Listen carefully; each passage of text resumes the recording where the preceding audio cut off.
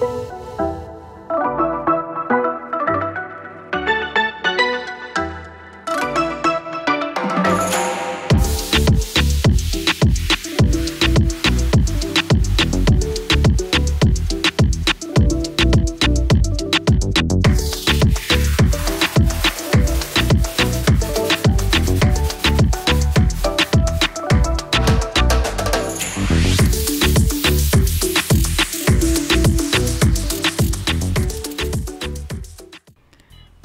Welcome to Mika's Kitchen Creations, guys.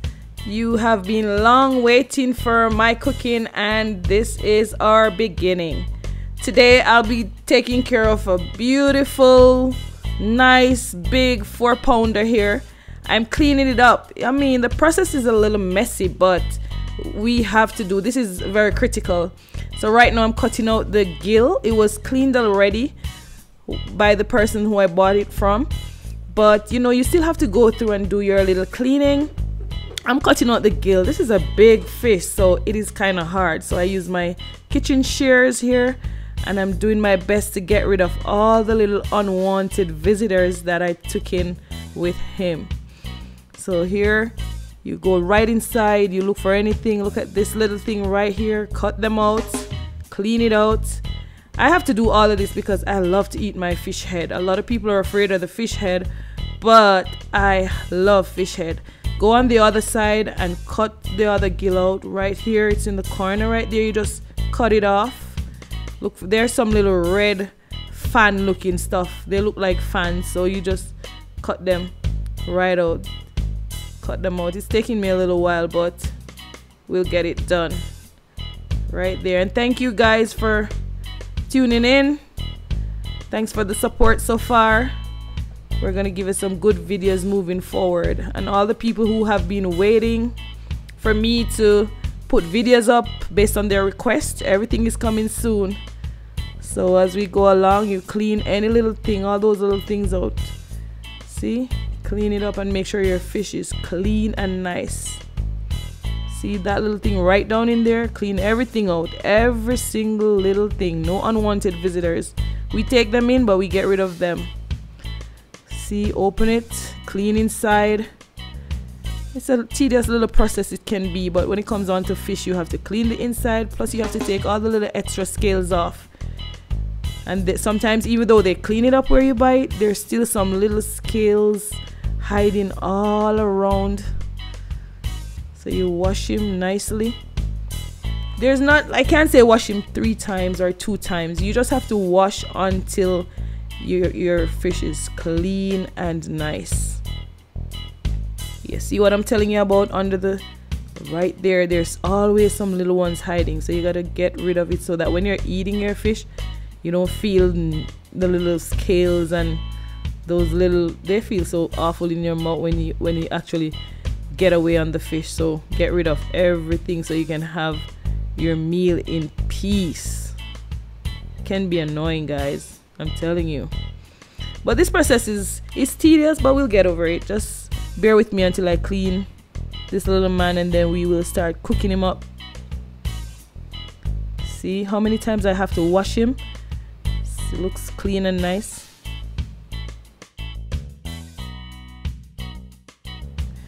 So now that we have finished washing our snapper or Caribbean red snapper guys, we are gonna do the second phase of our cleaning process.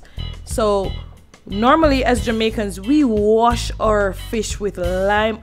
A matter of fact, any meat that we're cooking, most times we wash with lemon or limes and vinegar. And if you don't have vinegar, use limes or lemons alone. If you don't have limes, you can use vinegar but I'm using both because I have both but if I didn't have both I will would use what I have so you don't have to stress yourself. Just use what you have. What is available in your kitchen. So I'm cleaning it down. I use my lemons like a washing brush. So I use it to scrub the fish. Don't worry about the eyes guys. You see it looks a little pale. Because when you're choosing your fish you have to make sure that the eyes are bright and nice to know that it's fresh. But whenever you pour vinegar on fish it normally changes the, the colors of the eyes. Makes it a little bland but it's all right sometimes i try to cut these little things off because they tend to stick you in your hand if you don't know what you're doing. But because this fish is so big it's hard so I'll leave it alone. All right so now I'm just checking to make sure that I got rid of all the little scales. There are a few little ones here. I'll just brush them off. You don't have to worry about washing it again. Just just brush them off. And then we're going to put some slits on the side. You know what that is for? Put a little uh, comment in the comment section and tell me why you think I'm putting some big slits in the side here guys. I love doing this. Turn it on the other side. Do it on both sides. I think I'm gonna put three slits on this side. I should have done that on the other side but that's alright it has two but I'm gonna put three on this side. Put in the comment section and tell me why you think I do that. Alright now that the slits are on the side I am just try to mix out my jerk paste, my jerk marinade. I'm going to shower this little guy in the jerk marinade, my Caribbean red snapper. It is so beautiful, guys. I'm I'm dying to delve into this with my family. Oh my god. I'm mixing this paste out. Let me get it all mixed in. Okay, remember I'm going to be doing a video showing you how to make this jerk paste so you can marinate your whatever meat, fish, anything that you want to jerk, you can use it to marinate your meat in. But now I am putting it all over my Caribbean red snapper. Put in someone, make sure you put it on the inside of your fish. You you you gotta make sure that inside is seasoned so the seasonings can get and put them all in these little slits. Now you know why I, you realize why I cut these little slots across the side of the fish to get the seasonings all up in it. Make sure you stuff it down in it, rub it right over, massage it into the fish. Guys, and one thing, if you have some green vegetables, you can stuff it inside of your fish too. I'm not going to be doing that today, but you can do that as well. So we have Callaloo Jamaica. A lot of Americans or Canadians may not know Callaloo, but it's mostly a Caribbean thing. If you don't know Callaloo, you don't have it, use collard greens put other vegetables inside your fish before you actually start cooking it. You just see cut it up with your seasonings and stuff it right inside. Don't be afraid. With cooking you can literally do just about anything that that you think you would like. But for now we're doing our jerk snapper and we're gonna keep on track. So we put look i put the seasonings even in its mouth uh, because as i tell you before i love my fish head. Okay so i've seen people who say listen to me cut the head off cut the i don't want to see the head i can't do it. But not most caribbean people we love fish head.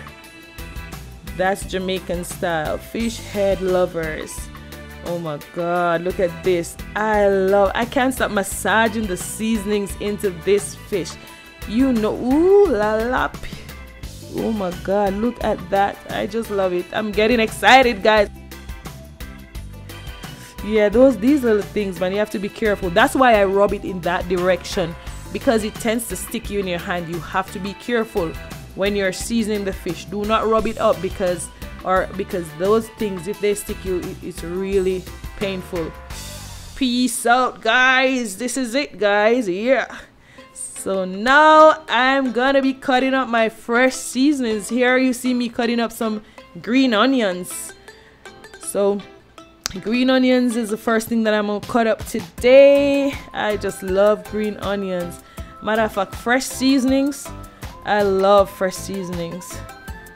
So but guys, as we go along, don't forget to subscribe because that is how you're to get to see most videos when I post.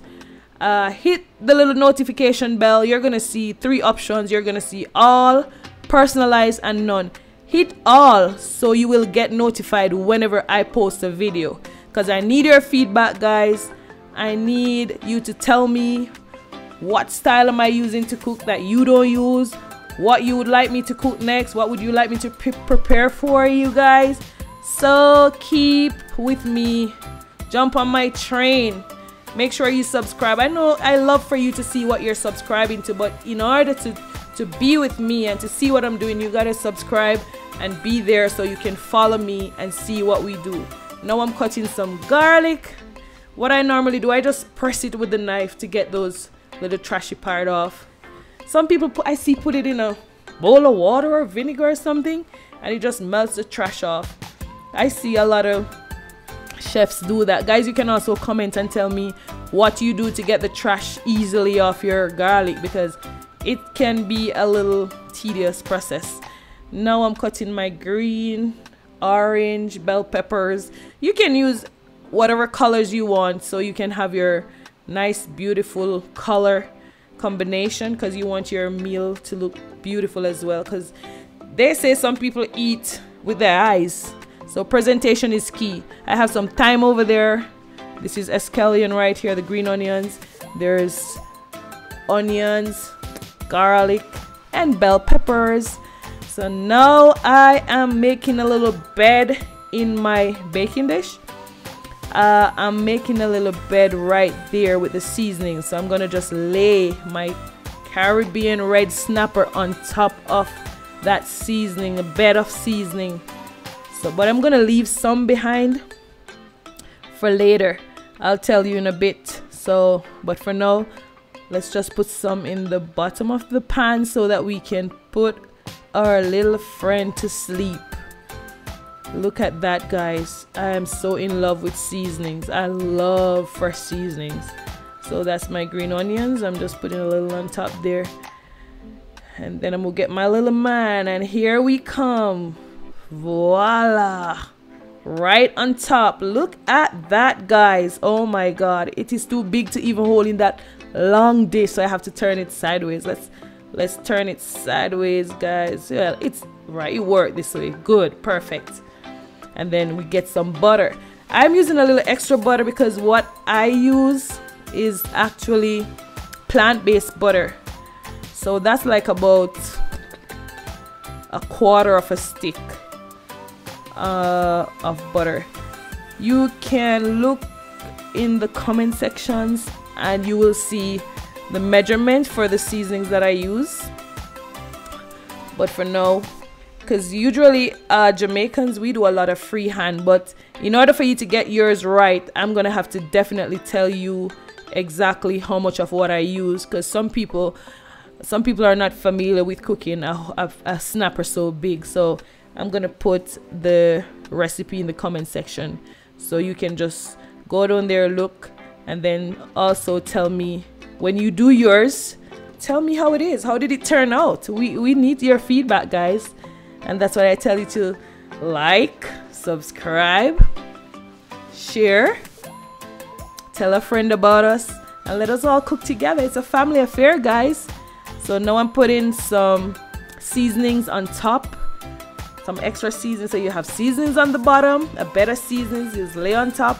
We put some seasonings on the top, we put some on the top, and then we're gonna cover with foil so that it can just steam a little bit first. Now guys let us take one last look before we actually put this big fish into the oven. Look at it. Take a last look. It is so beautiful. You can go ahead and add different color peppers if you want so you can have a nice beautiful red green different colors but I'm giving it the red, green, and gold, Jamaican style. Look closely at it, guys. It's so beautiful. Awesome. Good job. Wow.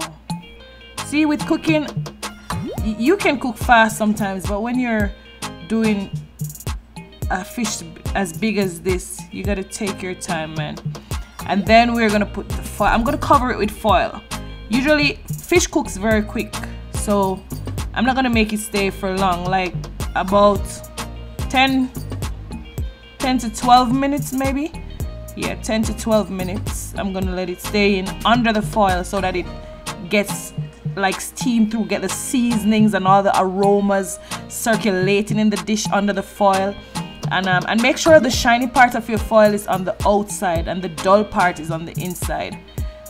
Right so and then all our seasonings will just circulate under there is trapped under the foil and gets into the fish and further marinates while it's cooking. But we won't let it stay for long. So about 12 minutes or so and then you take it out. And then since it's a big fish we want to make sure that we get it all right so I'm gonna put it right in the oven now. All right this is what it's gonna look like on our first process. So look at it guys you take it out after uh, 12 minutes or so. Oh whoa look at that. So now we need the color guys. It's it's kind of not looking dark so we need to get the color on. So um, I'm gonna put it back without covering. So this time we're gonna leave it open. I'm gonna just add so I had some remainder of the vegetables that I had cut up earlier some some thyme escallion same vegetables and then I cut some fresh carrots. I don't like to put the carrots in too early because you want them it depends on how you want them I like my carrots a little crunchy but if you want them softer you can actually put them in a little earlier but I like mine just nice and not not too hard not too soft just crunchy. Because you don't want to overcook your vegetables. But the first set of vegetables kind of overcooked because that what that's what gets into your fish. But then this um, the the remainder that I have have uh, put aside is just to top it off. Now this is just like the fresh aromas that we're gonna get. So we have different stages of seasonings different stages of aromas everything is done in stages. When we're preparing a fish like this guys we have to be it's like just careful to get the right taste. All right so now we have all our little seasonings and our fresh seasonings. We're gonna put it in for maybe another 10 minutes without the cover so that we can get the color. No cover get the color. All right so we're gonna look look at that. We're gonna put it in now after topping it off with some fresh onions it wasn't enough. You can i mean there you you just you can be moderate with your onions because fish, fish onions goes very nice on fish. Very nice on fish. So you can be moderate with your onions. So i'm just adding a few more pieces. Look at that guys. And i'm telling you that's not a small fish. It may look small on camera. So i'm just testing it to see how soft it it is see the fork goes right through. So it is soft enough but we just need to give it a little color. And seafood in general takes does not take long to cook. So you that's why I just put it in for like 10 to 12 minutes and take it back out. That's about 400 350 to 400 degrees. And just put it in. Wow. Put it right in the oven. No cover this time as we've said before. Lock him in lock him right in. And then look at this guys. Where we take it out like the next five minutes or so just to make sure that all the little juices that comes out with the flavor and the butter we try to just get some back in the fish in the reduced style. So it has reduced so the flavor is higher higher flavor. So we just take it up. It's a little bit but we don't want to want it to be too much if you, you, i'm to show you as well in another video how to make jerk jerk sauce separately. So if you want additional sauce you can put your jerk sauce on it just the same.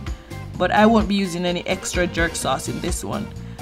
I'll just jerk roast it and then put it right back in because i poured the juices in it. And here we go again.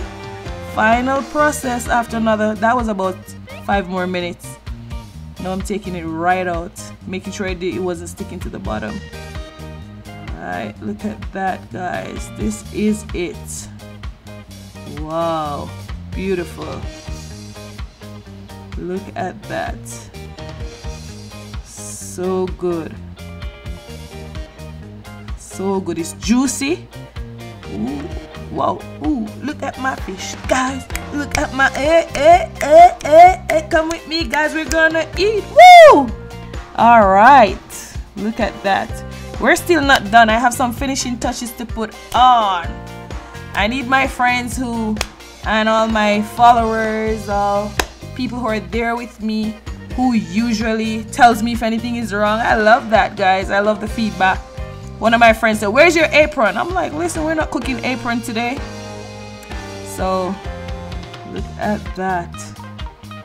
I may just drop it in back for another minute. Let me see. Because I'm pouring some more juices on top of there. Let's see what's going on. Oh, look at the color, guys. See, I told you. Put it back without the foil. You see that nice and dark? You see that? Ooh, oh my God. So I didn't have to put my fish back another time because it looks good. So let's just put a little lemon garnish on it because you know seafood in general we put a little lemon on it to kind of you know what I mean you know what I mean. All right so some little twists lemon twists. You can just stick one little one right there.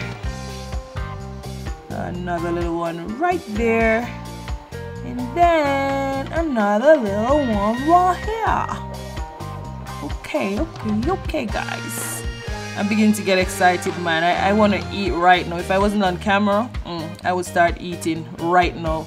But I don't want you all to think that I eat your fish off, so I'll leave your fish alone. Wow, and I'm also gonna show you guys when like when we're doing like the escovitch fish i'm gonna show you how because i love fish so i cook fish a lot. I'm gonna show you how we just use a little salt and black pepper to fry the fish. And no seasonings like this. Look at that guys. Make sure you subscribe because you I want you guys to just cook with me. Make sure you subscribe. Make sure you share like.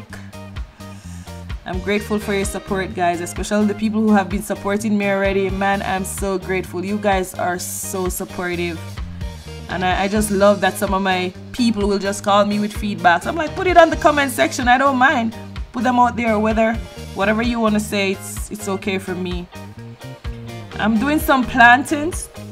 This is not the best looking one, but even when the skin is kind of dark, it's still a good plantain. It's still good. Inside is good. What you call it?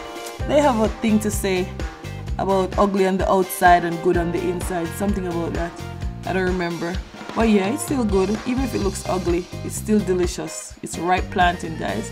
So we just just cut it in three in in three thirds basically. It's not fully thirds, but and then you just make some slits uh, like that oops all right and then like that you just just cut some slices this little man is misbehaving but we'll get him under control don't worry about it we'll just put some slits into it like that. I got this one under control.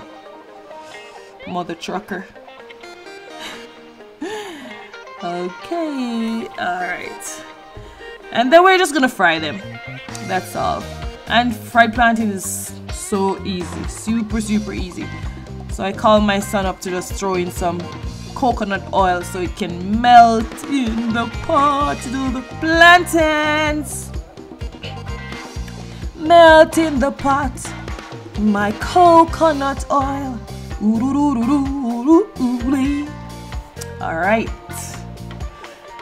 so here it is he's just dropping them in the pot that's all it's quite simple you can make your kids cook with you and show them how to do these start with these simple things a lot of kids nowadays they enjoy cooking when you actually make them learn to cook they love to do it so let them help you in the kitchen teach them everything that you know all right he knows to use a wooden spoon so he doesn't scratch the pot up at least there you go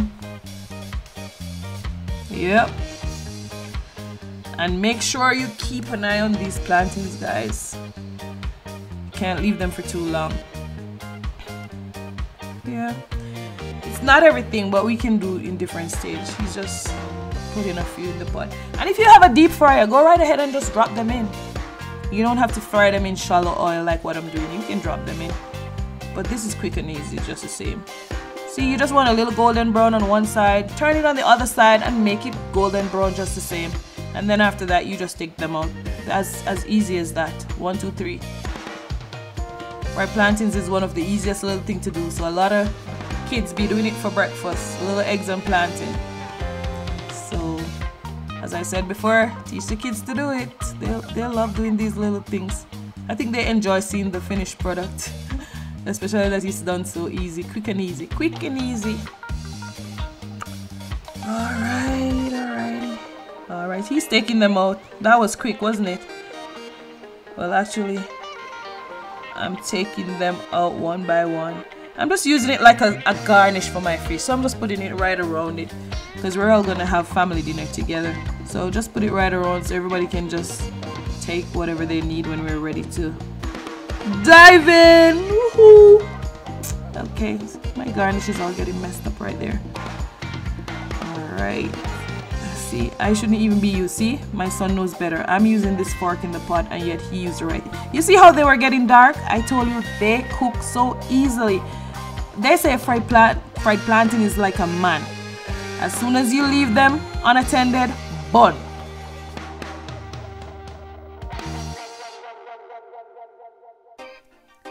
okay guys now that you have seen my basically my first I, I must say my first video to you because all the other videos that I've done before was really just me cooking in my kitchen casually or whatever but no I have started the journey so I would like your feedback tell me if you enjoy the video tell me what you think you needed to see that you didn't see tell me how yours turned out when you did it tell me if you're ready to try, ask me any questions you want to ask, anything you didn't know, put it in the comment section, guys. It's the first video, so I will definitely try and answer as many questions as I can. Ask them, guys. I'm here waiting to answer your questions. Thank you and happy holidays. If I did, don't post this video before the holidays is over.